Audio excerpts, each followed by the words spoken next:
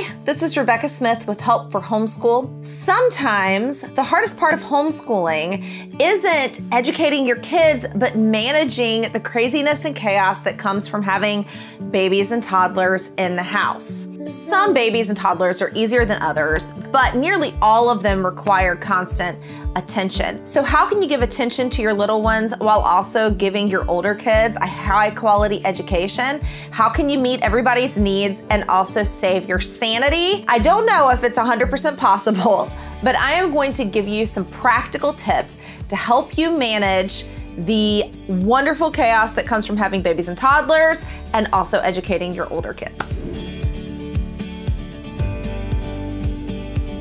Tip number one Homeschool during nap time. Now, if you are blessed enough to have a baby or a toddler that still naps, this can be prime homeschool time in your household. This is something that we have done a lot. Maybe your big kids can do some independent work in the morning, and then you can take that time after lunch to do some hands on work with them while your little ones nap. Mm-hmm. Or maybe you have a baby that naps twice a day and you can just schedule things during that time. It really is a great time to have dedicated to your big kids. You are so noisy. You're so noisy. No one says that school has to happen at 9 a.m. every day of the week. Maybe for your family, having an after lunch homeschool time just works best with your little ones in the house, and that is totally fine. This is all about you finding what works best for your family.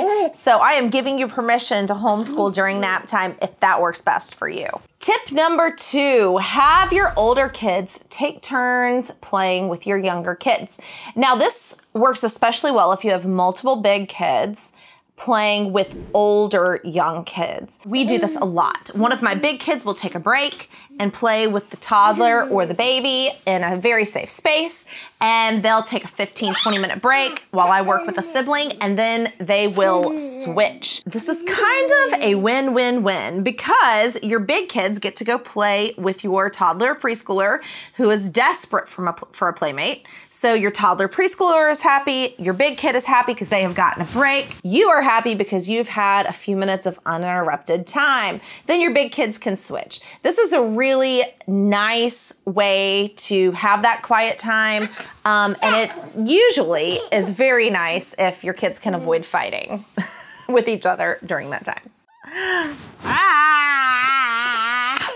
Whew, okay. She, she didn't want me anymore. All right, tip number three invest in some fun, entertaining, and educational toys.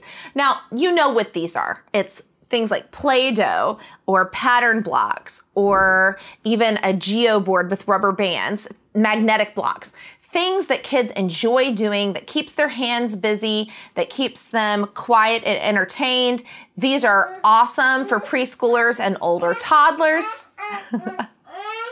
Other ideas might be stamps or markers, maybe a chalk or dry erase board, anything like that. In the comments, I'm gonna post some affiliate links for some of our favorite entertaining toys for toddlers and preschoolers. Another great idea with these toys is to rotate them. Don't keep the same toys out all the time. Pull one toy out on a Monday, put that one back up, pull a different one out on Tuesday. That way all of the toys stay fresh and they don't get bored with any one thing. All right, tip number four short TV times. Now, I am not above turning on a TV show to keep a toddler entertained for a few minutes. PBS has some great kids shows. My kids love them. If you need to turn on the TV for 30 minutes because you are about to lose your patience and you just need some quiet for a few minutes, I'm here to tell you it is okay by me if that happens. And to be totally honest with you, the Leapfrog Letter Factory DVD taught every single one of my kids their letter sounds except for the, the baby who hasn't learned to talk yet, much less read. I'm gonna post an affiliate link to that down in the comments as well. Seriously, that Letter Factory DVD is one of my very favorite things. But it is totally okay to let your kid watch a show for 30 minutes while you work with the big ones. If it saves your sanity and it helps you to focus in with those kids for just a few minutes, then it's well worth it in my opinion. Tip number five, change locations. Now, this tip will only work with certain ages. Generally, babies and toddlers between age one and two can be pretty hard to watch outside. They're a little unpredictable. They're eating random things. Hello, are you coming up? Up. Ah. But maybe you have a baby that will enjoy being out in a stroller for a while, or you can put them in a toddler swing in your backyard. The big kids can jump on the trampoline. Changing locations can buy you some entertained kids um, to have some quiet time one on one with one of your other kids. A nice fenced space is always perfect for this. But like I said, this doesn't work for every age range. And this doesn't work for every kid. I have one in particular that gets super distracted if we move outside, and I just can't do anything with him if we are not in a quiet inside space. Whew, okay, Daisy went and took a nap. she was getting a little crazy. Can you hear that? That's Daisy hitting the wall. Tip number six, utilize feeding times. I have some wonderful memories of doing read aloud work with my big kids while nursing a newborn. The baby is quiet. You have 10 or 15 minutes on the couch where your other kids are snuggled up. They want to get close to the baby, they want to get close to you, and you are able to read to them during that time. As your little ones get older, maybe a snack time is a good time to get some work in because the baby or toddler is distracted, or even with your big kids, reading aloud to them during lunch. It's a little hard for kids to talk with food in their mouths. My kids still can do it, but sometimes it's just a great quality time to talk to your kids, to read to your kids, to have discussions about things while the babies and toddlers are a little distracted with eating. I've definitely bribed my preschoolers to sit still for a few minutes with a popsicle or a cookie at times as well. All right, my last tip. Tip number seven embrace the chaos. As long as you have littles in the house, it is going to be a little chaotic. There's going to be some noise. There's going to be messes. There's going to be kids needing you at inopportune times. It's just going to happen, and you should just expect it.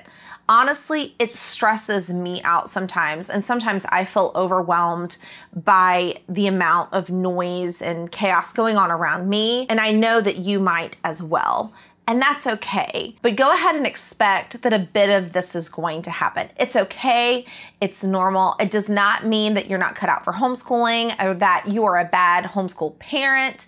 It's just kind of part of the family dynamic of homeschooling. Do you have a tip for homeschooling with littles in the house that I did not cover? Please comment below and tell me what your tip is. Maybe it's something I haven't tried that would just revolutionize our homeschooling. I would love to hear it.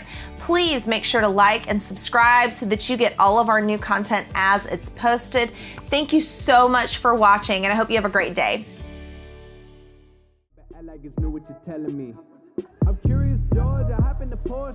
Can you hear that? That's Daisy.